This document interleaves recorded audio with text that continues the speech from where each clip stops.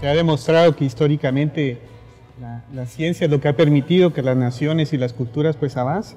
Entonces creo que esa no es ninguna excepción para Guatemala.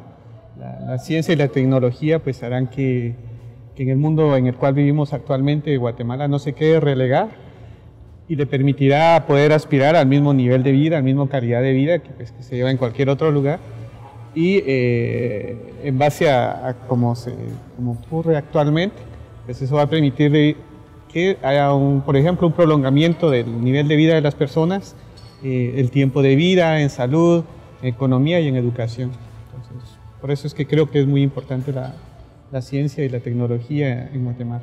Realmente creo que todas las ah, actividades que, que, se están llevando a cabo son bastante positivas porque se requiere de, de un organismo que logre regular y, y logre estructurar todas las actividades de investigación en Guatemala, ya que de esa manera pues, se pueden alcanzar ciertos objetivos concretos y eh, se puede estructurar la forma de, llevar a cabo ciertas metas.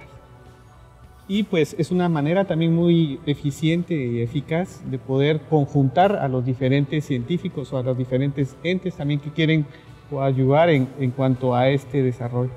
Entonces, por eso es que creo en, la importancia de, de este ente y pues, pues, les comino a seguir adelante y a seguir enriqueciendo sus actividades. Desde que he estado estudiando afuera y actualmente trabajando en investigación, pues eh, siempre he deseado llevar a cabo proyectos de forma conjunta con instituciones guatemaltecas, porque considero que tenemos un gran potencial, eso es algo que que he descubierto a, lo largo de mi experiencia. O sea, no somos ni, ni menos capaces ni menos inteligentes que, los europeos, por poner un ejemplo. Somos tan capaces y tan inteligentes como ellos. Pero muchas veces lo que nos falta es la disciplina. Eh, y considero que, que con esa disciplina podemos alcanzar muchas cosas.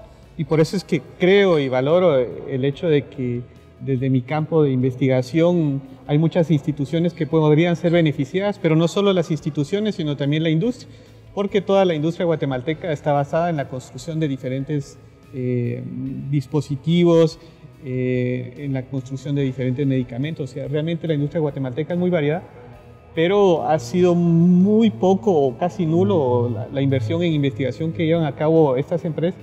Y entonces por medio de proyectos académico-industriales, es posible colaborar con ellos y ayudarlos a que desarrollen de una manera más eficaz todas las actividades que están realizando. Creo que Convergencia es una manera muy eficaz de, como su nombre lo indica, de converger a diferentes científicos guatemaltecos que están en el extranjero, porque por más que hayan científicos guatemaltecos que hayan estudiado únicamente en Guatemala, el hecho de estudiar en otro lugar siempre aporta otras, otros puntos a la personalidad, al carácter y hace que la persona adquiera habilidades que si permanece en el mismo lugar no se pueden adquirir.